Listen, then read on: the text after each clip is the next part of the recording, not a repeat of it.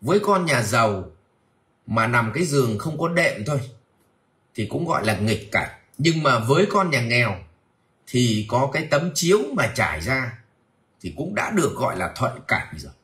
Vậy thì cái khái niệm nghịch cảnh là nó xảy ra là do cái gì? Thì thưa cả nhà, là do cái sự khả năng chung sống của mình nó kém.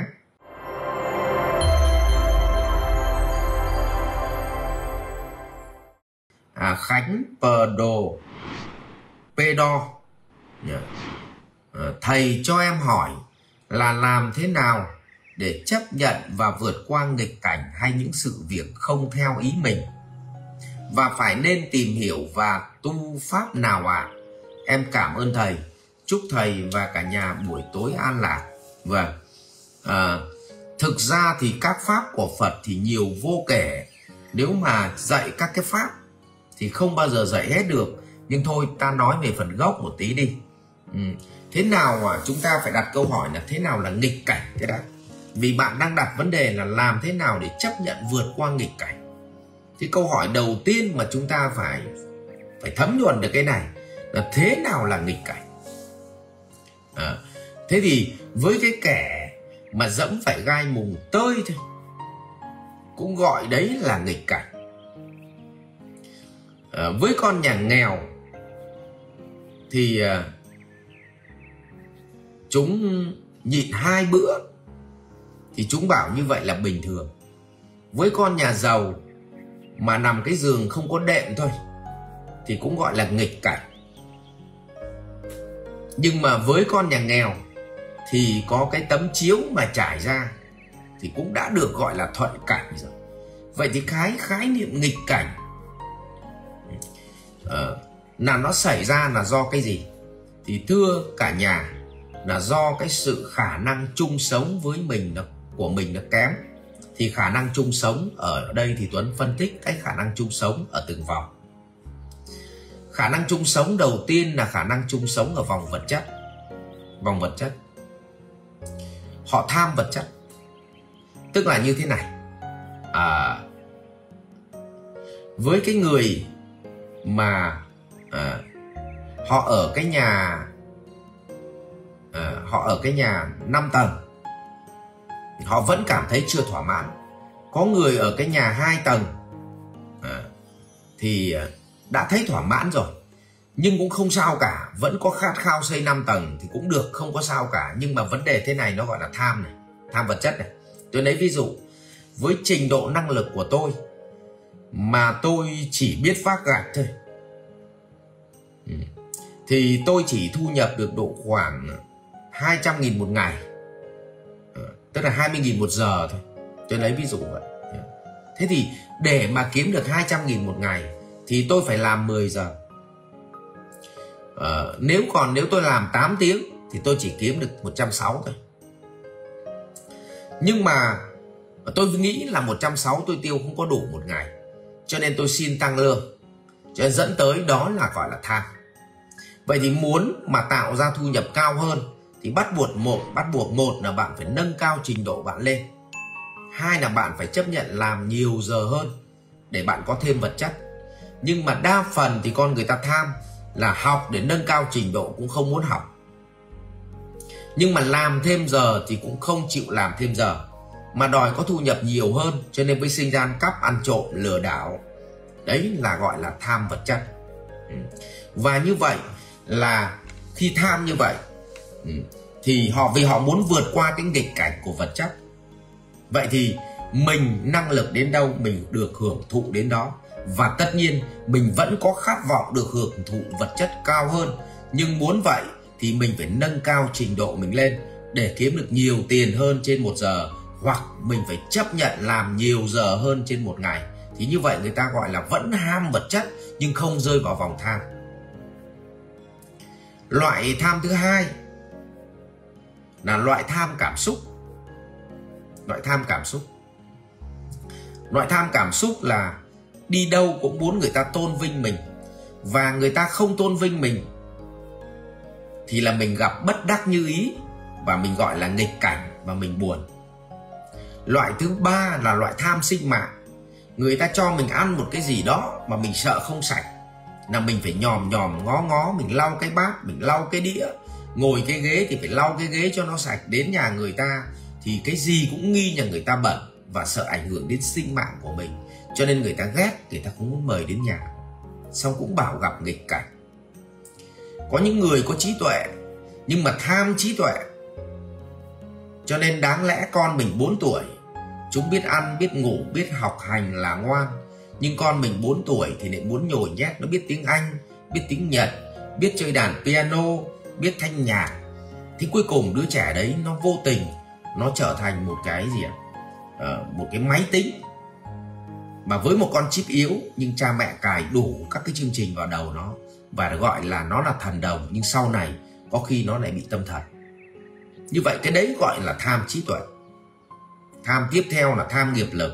Có những người làm được 5 đồng, đi vay 2 đồng, để lấy 7 đồng đi làm từ thiện. Như vậy, tham.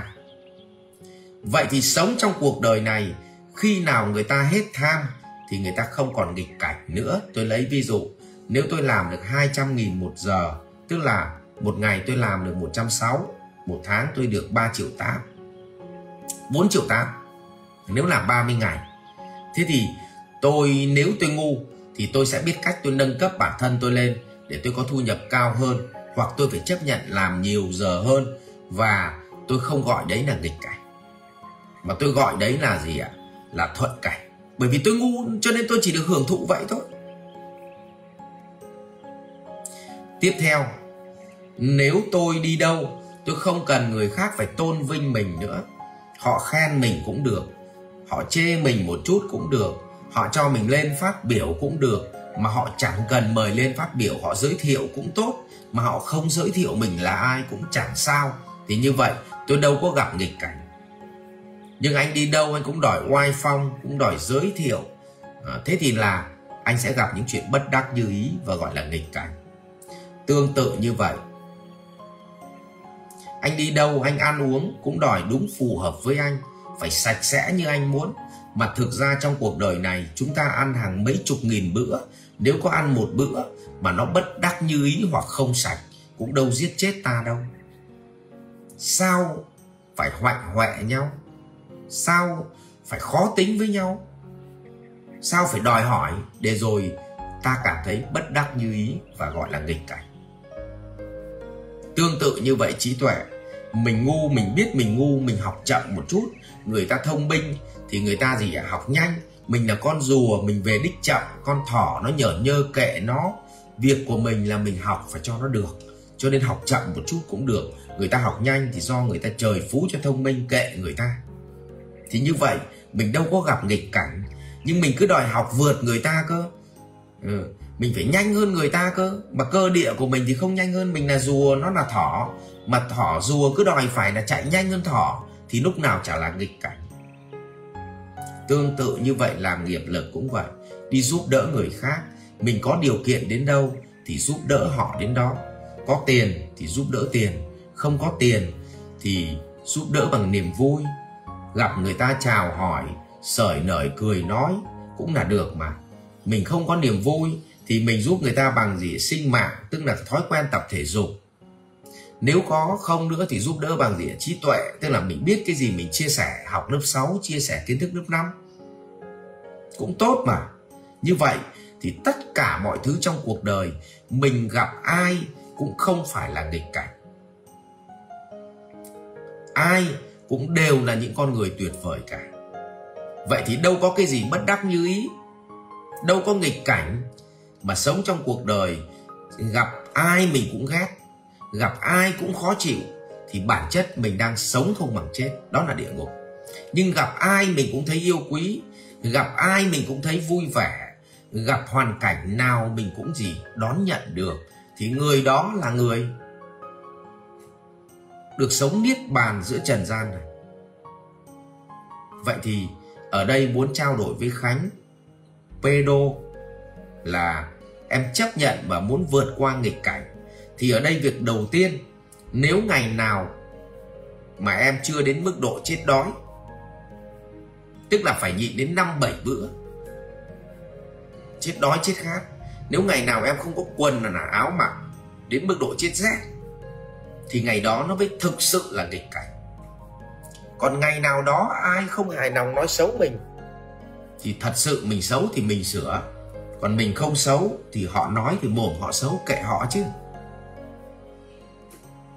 Nếu ngày nào mà ai không tôn trọng mình, hay ngày nào mà mình chưa kiếm được nhiều tiền vì mình ngu, thì nó trả lời đúng quy luật mà sau đấy gọi là nghịch cảnh được thế cho nên là nó không phải là nghịch cảnh. Vấn đề là do đầu mình tự huyễn hoặc ra và mình gọi đấy là nghịch cảnh.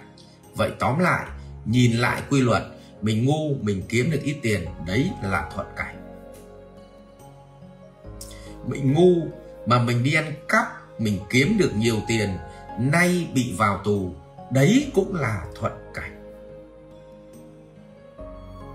Chứ không phải là nghịch cảnh.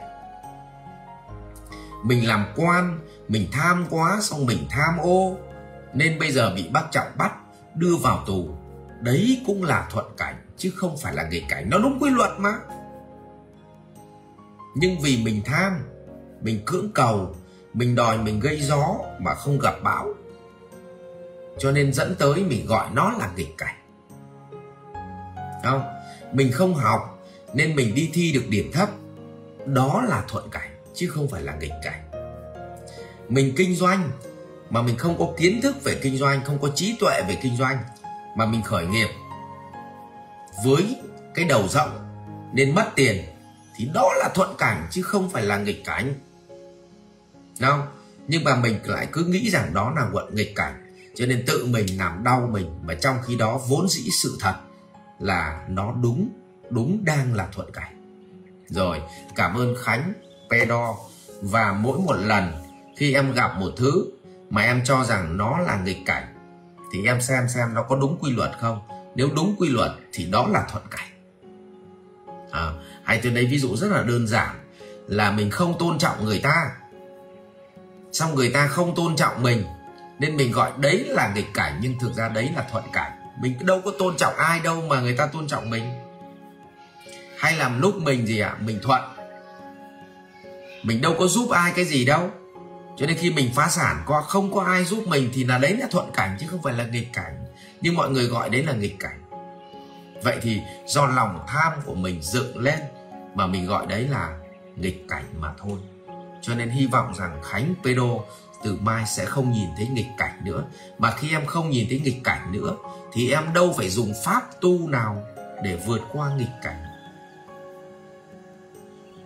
Còn khi mà chúng ta lúc nào cũng nhìn thấy nghịch cảnh thì bạn có học một tỷ pháp tu bạn cũng chẳng bao giờ vượt qua được nghịch cảnh. Vì chính bạn toàn dựng lên nghịch cảnh trong suy nghĩ của bạn thì vượt làm sao qua được? Rồi ạ à, chúc khánh pedro sống hạnh phúc và không gặp nghịch cảnh. Trường huấn luyện doanh nhân ceo việt nam nơi kiến tạo thế hệ doanh nhân thành công và hạnh phúc.